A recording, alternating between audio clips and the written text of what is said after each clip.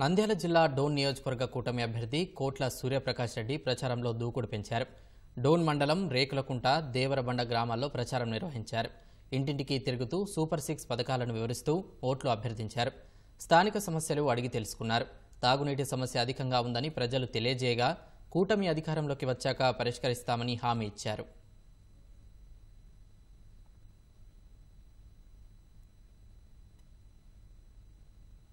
వైఎస్సార్ జిల్లా మైదుకూరు కూటమి అభ్యర్థి సుధాకర్ యాదవ్ నియోజకవర్గంలో ముమ్మర ప్రచారం చేస్తున్నారు. ఇంటింటికి తిరుగుతూ వైకాపా అరాచకాలను వివరిస్తూ ఓట్లు అభ్యర్థిస్తున్నారు. కూటమి అధికారంలోకి వస్తే సంక్షేమం పెద్ద ఎత్తున అమలవుతుందని అన్నారు. ప్రజలందరూ ఓటు హక్కును వినియోగించుకొని సైకో పాలనకు చరమగీతం పాడాలని కోరారు. ఈ గవర్నమెంట్ వచ్చిన తర్వాత అరాచకాలు దౌర్జన్యాలు అన్నీ జరిగినాయి. ఈ ప్రభుత్వం సైకో ప్రభుత్వం వచ్చింది.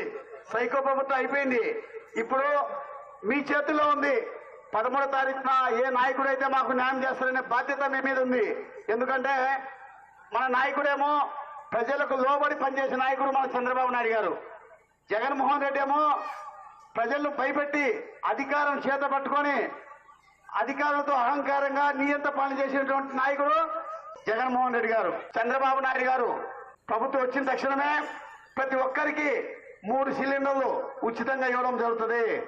మహిళలు ఆర్టీసీ బస్సుల్లో ఎక్కడికైనా పోవచ్చు. ఎక్కడ ఒక రూపాయి ఛార్జీల ఆరాముకు పోయి రావచ్చు. అదే రకంగా చదువుకునే పిల్లలు ఉంటే స్కూల్కి పోయే పిల్లలు ఎంతమంది ఉన్నా కూడా అంతమందికి పదహైదు వేల రూపాయల ప్రకారము వాళ్ళకి ఇవ్వడం జరుగుతుంది.